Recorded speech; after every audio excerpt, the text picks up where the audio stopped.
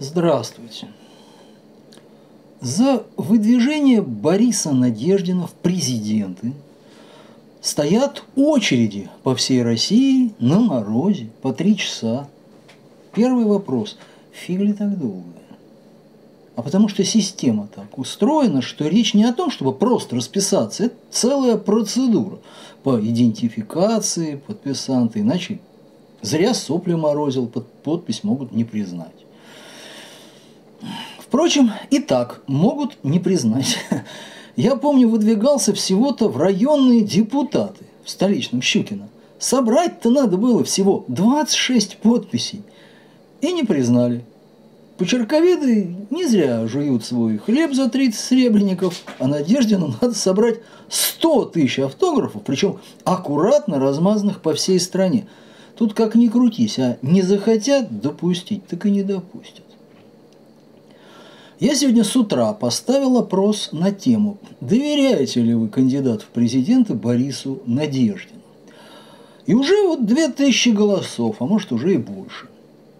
Да, доверяют 31%, нет 53%, не знаю, кто это такой 16%. Результаты по-любому лучше, чем у остальных. А в чем секрет, объясняют сами граждане перед опросом в комментариях. Е... Цитаты. Если выбирать между Антихристом и Надеждиным, то выбор очевиден, но я бы хотел видеть других кандидатов. А, нельзя, чтобы более 20 лет был один президент, жизнь при котором не улучшается. Он уже очень далек от народа, и те, кто ему рассказывает, как живет народ, тоже далеки от народа. Даже когда якобы встречается с населением, стоят подставные.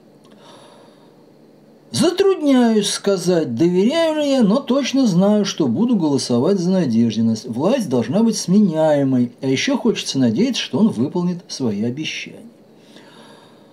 Борис Надеждин в данном случае является единственным легальным и безопасным инструментом заявить о своем отношении к войне, а дальше каждый решает для себя сам. Не ошибитесь с выбором, товарищи.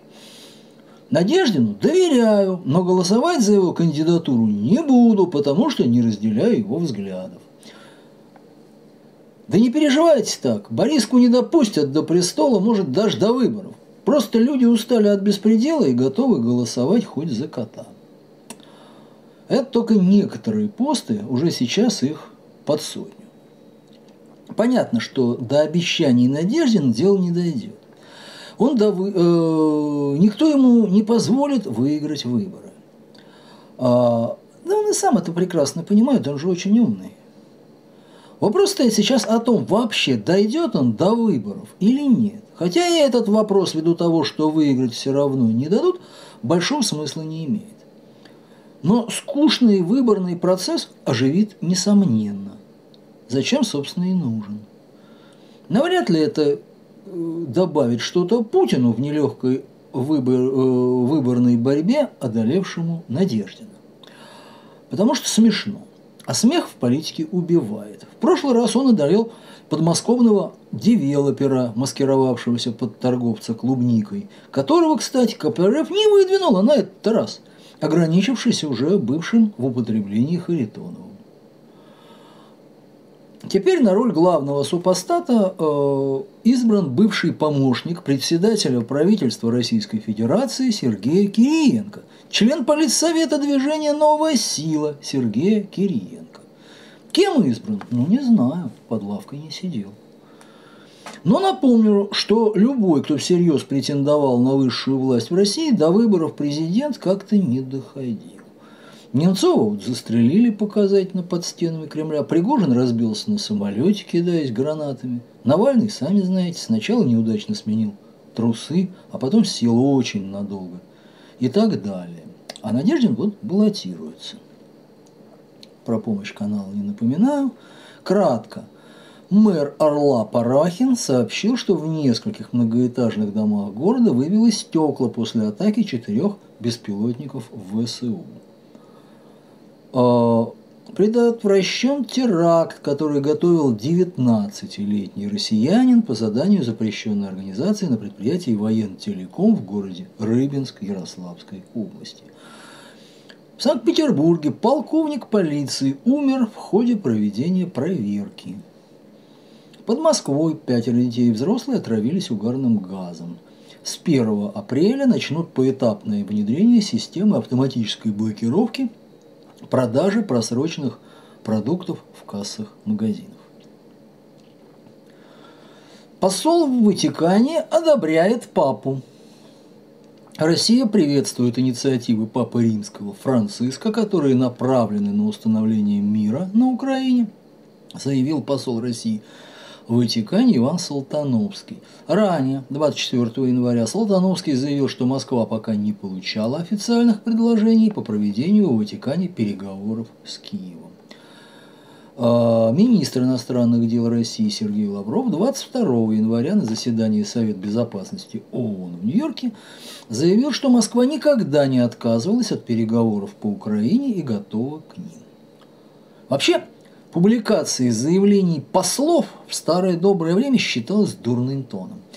Президент, в крайнем случае министр иностранных дел.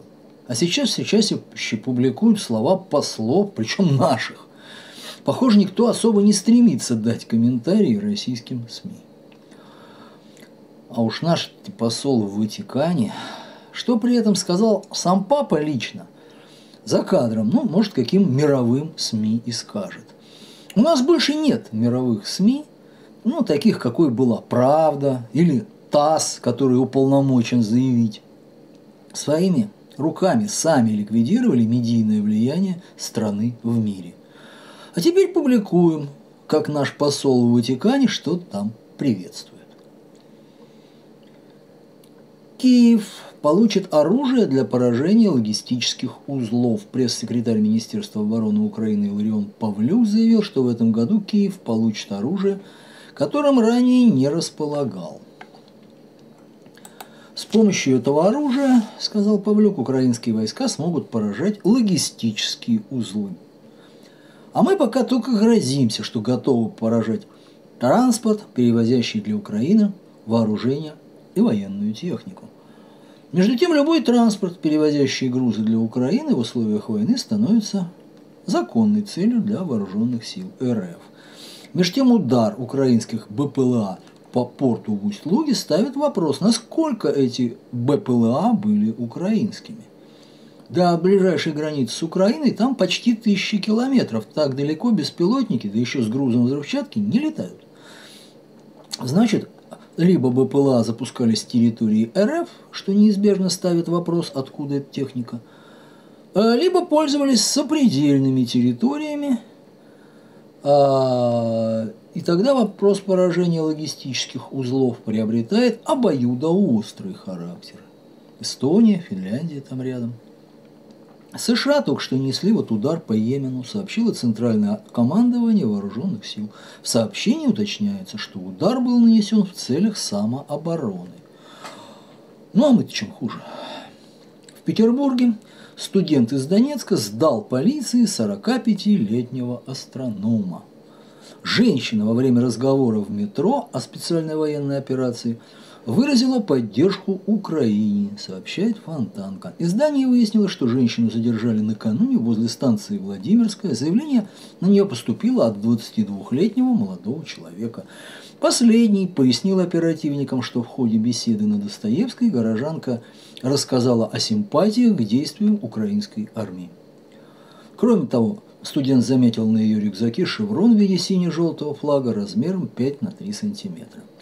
В действиях гражданки усматривается нарушение, предусмотренное административной статьей о публичной дискредитации вооруженных сил России. В начале спецоперации сотрудница Института прикладной астрономии РАН вместе с другими учеными подписывала открытое письмо против боевых действий.